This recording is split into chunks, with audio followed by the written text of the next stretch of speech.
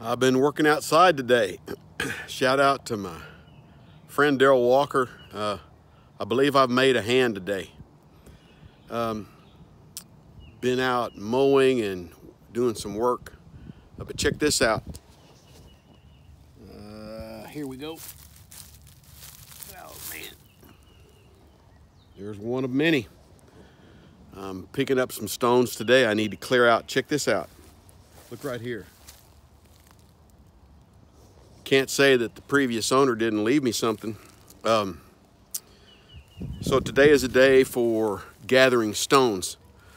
Uh, in 1959, uh, Pete Seeger uh, wrote a song based on Ecclesiastes chapter 3, Turn, Turn, Turn.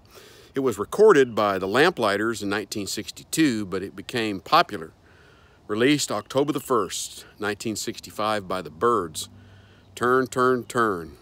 Everything, turn, turn, turn. There is a season, turn, turn, turn, for everything under heaven. Uh, truer words were never spoken. Other than Jesus Christ himself, the wisest man that ever lived was King Solomon. And we have the book of Proverbs, many of his sayings, and then, of course, Ecclesiastes.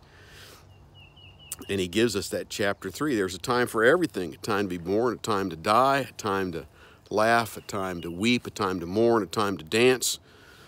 Uh, also, a time to gather stones and a time to cast stones. Uh, so, today, in the midst of work, I'm reminded of the Holy Word of God. Ecclesiastes chapter 3. And I'm also grateful for the fact that uh, Ellen and I have talked about it many times that we grew up at a time when there was some really, really good music being performed, being written, and being played. Um, that song in 1965 uh, entered the Billboard charts at number 80 and scaled all the way to number one.